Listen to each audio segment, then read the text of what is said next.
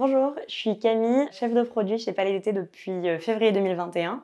Euh, j'ai commencé par un stage pendant mes études, puis j'ai intégré l'entreprise en tant que chef de produit aujourd'hui sur euh, l'offre saisonnière, dont principalement Noël, l'été glacé. Être chef de produit, c'est être responsable de l'offre euh, sur une gamme de produits. Donc ça implique beaucoup de missions, dont une partie stratégique pour définir euh, l'orientation de la gamme, euh, les plans de lancement, une partie développement et rénovation de produits, du concept à la mise en vente. Ça passe par la création de recettes, de packaging, à la fois avec des services en interne, comme la supply, les achats, et des agences en externe. Et il y a une partie d'analyse des ventes pour mesurer la performance de la gamme et des produits, des lancements. J'ai passé le diplôme de Master Sommelier en juin 2021.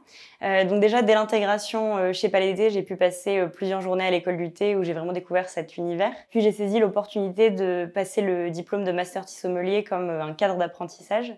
Euh, donc j'ai bénéficié de l'accompagnement avec un parrain euh, tout au long de l'année euh, et de journées spécifiques de cours à l'école du thé dans ce cadre-là. C'est également du travail personnel de, sous forme de, de, fiches de cours plus ou moins et de dégustation, donc pas mal de pratiques. Ce que je trouve vraiment épanouissant dans mon métier chez Palais d'été, c'est la possibilité de travailler sur des projets à long terme.